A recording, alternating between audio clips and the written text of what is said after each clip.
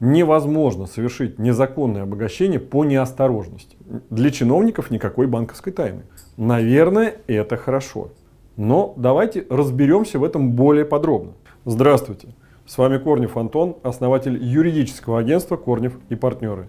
И сегодня мы поговорим о коррупции и борьбе с ней на международном уровне. Итак, проблема коррупции стала настолько серьезной, что Организация Объединенных Наций в 2003 году, в октябре, созвала конвенцию всех стран-участниц ООН, которая так и называлась Конвенция по борьбе с коррупцией. В результате этого события была принята Конвенция по борьбе с коррупцией, которую ратифицировали 172 государства. Сама по себе конвенция вступила в силу в 2005 году. Российская Федерация ратифицировала эту конвенцию за некоторым исключением 8 марта 2006 года.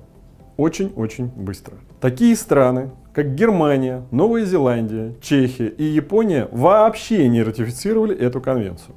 Но наибольшие споры вызывает статья 20 Конвенции о борьбе с коррупцией. Досмотрите это видео до конца, я объясню, чем грозит россиянам статья 20 Конвенции ООН о борьбе с коррупцией. Итак, рассмотрим ее более подробно. Статья 20 гласит, признать в качестве уголовно наказуемого деяния, если оно совершено умышленно, незаконное обогащение. Более подробно остановимся на каждом термине. Умышленно, то есть должен быть прямой умысел. Невозможно совершить незаконное обогащение по неосторожности. Здесь все вроде бы понятно. Незаконное обогащение – это некая новелла. Как ООН объясняет, что такое незаконное обогащение?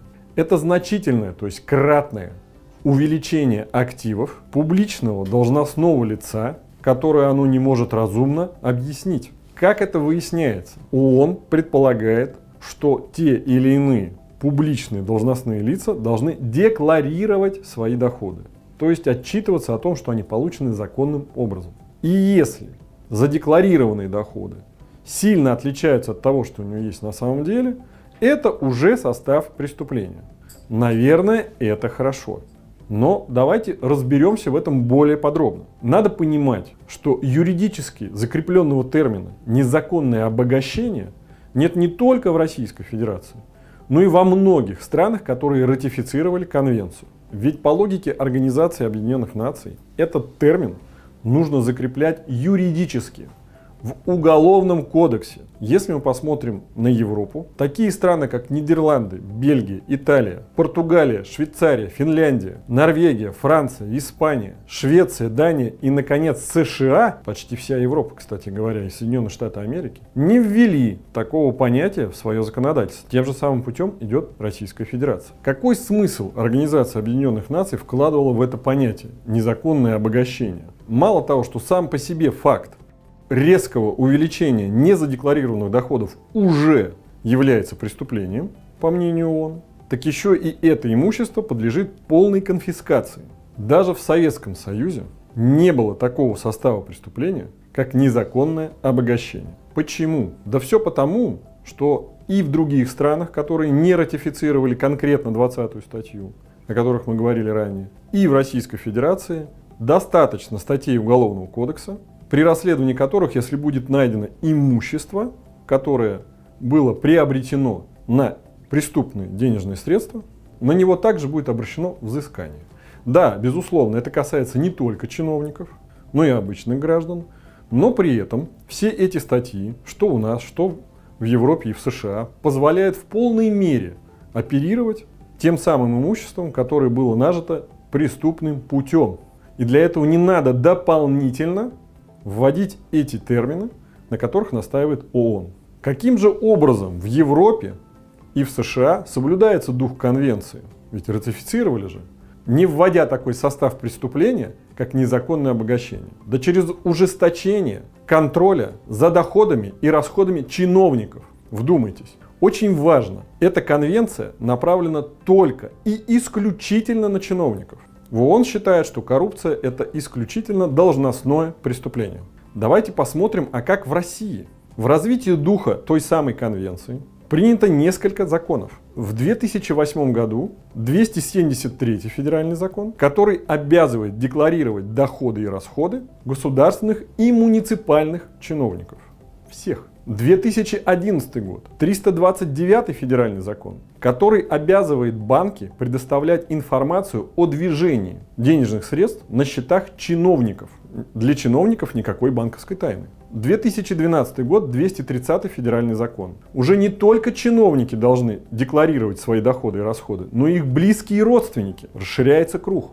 2013 год, 102 ФЗ. Депутатам Государственной Думы запрещено иметь недвижимость или банковские счета в иностранных юрисдикциях. Если все это вместе сложить, то Российская Федерация пошла гораздо дальше, чем это прописано в Конвенции ООН. Не только чиновники, но и их близкие родственники, о чем в Конвенции ни слова. Не только денежные средства, но и недвижимость и так далее. Мы пошли по пути Европы. Примерно то же самое происходит в тех странах, которые так же, как и мы, не ратифицировали 20-ю статью Конвенции по борьбе с коррупцией. Но в Российской Федерации пошли, как обычно, еще дальше. Судебная практика сложилась таким образом, что как раз применяется презумпция виновности. Поясню. Если человек совершил преступление, подчеркиваю, человек не обязательно должностное лицо, не обязательно чиновник, и это преступление экономической направленности, то все и то имущество, которое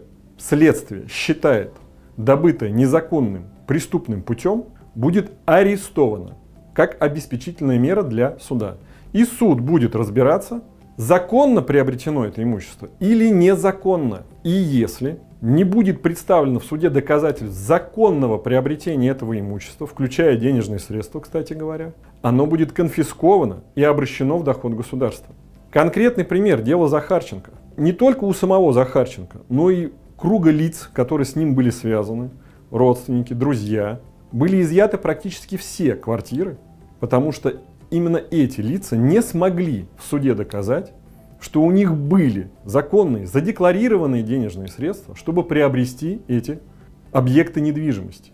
И таких дел в Российской Федерации достаточно много. Хорошавин, Гайзер, Аршуковый и так далее. То есть, не вводя специально термин «незаконное обогащение» как состав преступления в Уголовный кодекс, судебная практика в Российской Федерации полностью отвечает статье 20 Конвенции ООН по борьбе с коррупцией. Итак, как я и обещал, а зачем я все это вам рассказываю?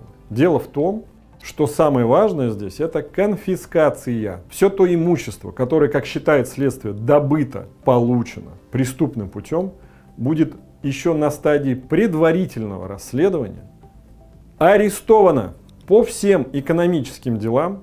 Эта обеспечительная мера обязательно вводится. Все имущество арестовывается. Имейте это в виду. И дальше задача адвоката в суде доказать, что то или иное имущество не добыто преступным путем.